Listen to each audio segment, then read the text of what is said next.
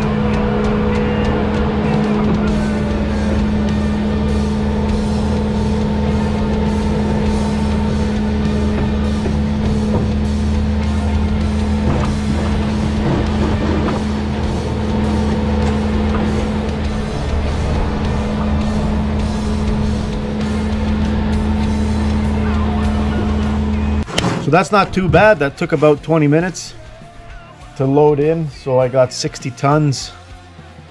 So 20 minutes, 60 tons. That means, uh, yeah, I was doing three tons a minute to move it from here to there. FY, I mean, you know, if you're into moving dirt, those might be interesting numbers to hear. So we got